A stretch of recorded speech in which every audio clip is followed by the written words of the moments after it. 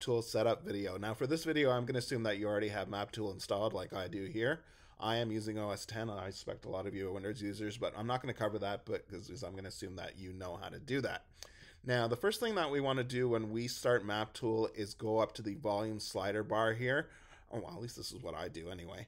And set it to minimum, like don't go all the way down to zero, but to just above zero there because the sound effects can get pretty loud. So, um, you know, you don't need to have it that loud, but that's as your preference, whatever you want.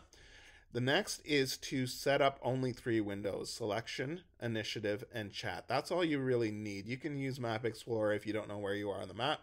And we'll open up that with the window menu, go to Map Explorer and double click on your token, and that will jump you to where your token is. If you know how to use Map Tool, then that's pretty self explanatory. You've been doing that for years or however long you've been using Map Tool. But the next really important thing to talk about is memory. So let's go to our preferences, which I do by map tool preferences, but you'll probably have to go to edit preference if, if you're a uh, Windows user and go to the startup tab here. Now, if we start off here to the JVM memory settings, the maximum heap size, you want to set this.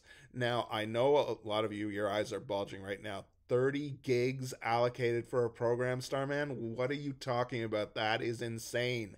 I only have 8 gigs or 16 gigs, whatever. Let me explain how Java memory works. It's not actually going to use that much. Oh, well, knock on wood, it's not going to use that much. If you're importing PC tokens from your D- character builder D&D 4e files, it just might. The rule of thumb for importing is for each record it imports, maybe allocate a gig. That's a really, really rough rule of thumb. We'll talk about that more in the importing video, but it uses a lot of memory. I don't know why version 1.7 does this. Prior map tool versions, 1.6 and earlier, didn't use that much. And I hope they fix this in 1.8 because this is crazy. I don't know why it goes up that much.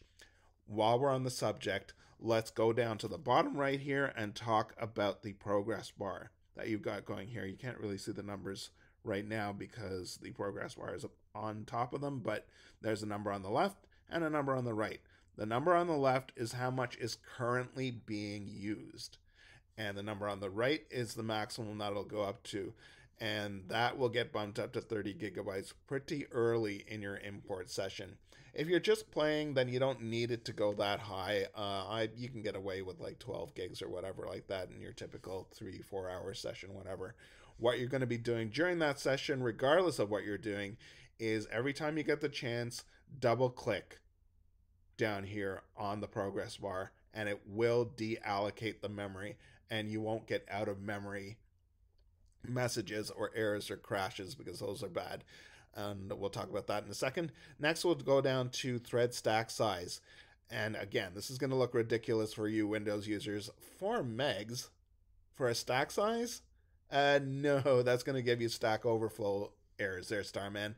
Uh, no, it won't give me overflow errors because I am using OS 10, which is very good at managing memory. Windows, not so much.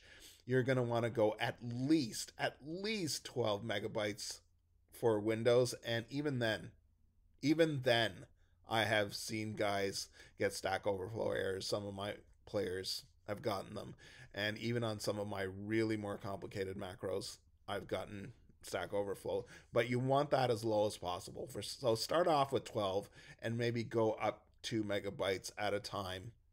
And you have to restart Map Tool every time you do that. Of course, it'll give you the message to do that, but you want that as low as possible without getting Stack Overflow messages, and 12 is a good one to start at. Value sounds. We talked about that earlier. Put the volume slider down. And I keep these two checked myself because I like sound effects. Um, a lot of my players don't, uh, which is kind of disappointing because I worked hard to put the sound effects in. But you know, it's an individual preference. We'll talk about more how to suppress sounds in the toggles video, so watch out for that. Application is next. Going from right to left, this is important. Campaign autosave every five minutes. So if you are doing a really long import and it crashes, you get an out of memory message because while it's running, you can't double click on the progress bar like I was mentioning before. So it might crash. So what you'll want to do is stop map tool, which well it'll get stopped for you of course by the crash, and then start it again. Then it'll ask you if you want to reload the campaign file. You say yes, and you're golden. You're ready to go. The rest of this stuff here, uh, hmm, yeah, you don't really need a lot of this stuff. I don't bother with it anyway. You can experiment as you see fit. Um, you might need to use UPnP because the networking can get a little hairy with Map Tool, as you may know. Accessibility, font size, you can set that higher if you want because I use a very high resolution and it may be difficult to see the text. So put that up if you want. And interactions, I don't really use any of this stuff here. Again, you can set it to your own individual preference, but movement metric, that is not a preference. You have to set it to 111. Otherwise, things are not going to work properly. I've coded around this movement metric. So it'll actually give you an error if you try to use anything else, I believe. If it doesn't, I'm going to code it so it does. So yeah, you have to have that. And kind of on that slant, let's say okay here because we're done there. We can start about, uh, or rather talk about starting a server. So the way we do that is we um, first disconnect from a server if we've already running that because I had mine running and uh, we'll say yes we want to disconnect and this is how you start a server you go to file start server and this dialog here comes up and uh, UPnP if you want to we keep it unchecked because I manually configure the port forwarding on my router at my admin page and you can set up all this stuff I keep all these checked except for players receive campaign macros because I don't use those. Once again, movement metric 111, very important. Set that. If you are the GM and you're running a server, and of course, you know how to set these other things too. If you don't, go there are plenty of map tool videos on YouTube. They're very good. Look at those and of course read the documentation on the website on how to set up map tool and you should be good. There's not really a whole lot else to talk about. I wouldn't put these windows anywhere over here because it'll block the pop-up status little window that comes up. This is called the stat sheet that pops up here. Leave them on the right here, and uh, you can dock them different ways you want. I actually find the docking behavior a little irritating in Map Tool, but you can reset that if you want to.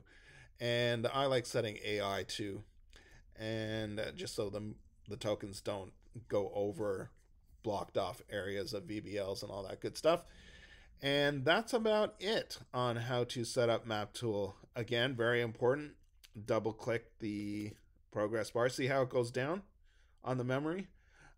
Do that while you're playing. Do it every, I don't know, half hour or so. It depends on how many macros that you're running and how the memory gets ramped up there. So that's very important. So remember to keep continuing to do that. Otherwise, you could run into trouble. And that's it. That's how to set up MapTool. And from here on out, we will just talk about the MacroPolicebox and how to run it. Thanks for watching.